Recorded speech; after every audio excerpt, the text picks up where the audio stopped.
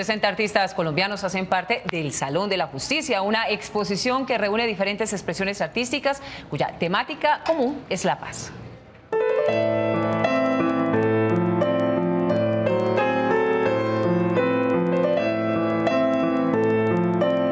El Salón de la Justicia es una propuesta de 60 reconocidos artistas del país que reúne obras de arte político que reflexionan en torno a la paz y el perdón como un asunto que le concierne a toda la sociedad. Es una, una muestra en, tres, en tres puntos de la ciudad eh, que convocó a varios artistas eh, colombianos, todos, eh, desde jóvenes a, más maduros, más consolidados, a proponer obras que tocaran el tema de, de justicia social.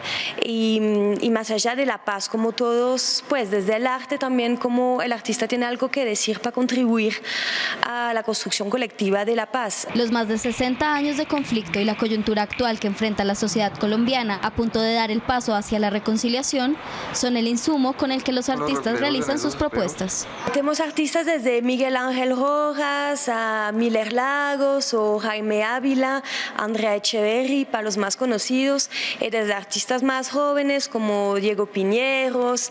Eh, van a ver de todo, desde eh, fotografía, video, instalación, pinturas, o sea, hay todos los medios, hay muchas piezas todas muy, que invitan todas mucho a la reflexión, eh, unos desde el humor, con mucho sentido del humor, otras que son mucho más trágicas, que, bueno, que hablan de, de secuestro, de riguerías, de temas más, mm, más pesados. La exposición está dividida en tres espacios, el Salón de Exposiciones de la Cámara de Comercio de Kennedy, la Fundación Gilberto Alzate Avendaño y el Sanatorio. Además estará abierta al público hasta el próximo 20 de junio.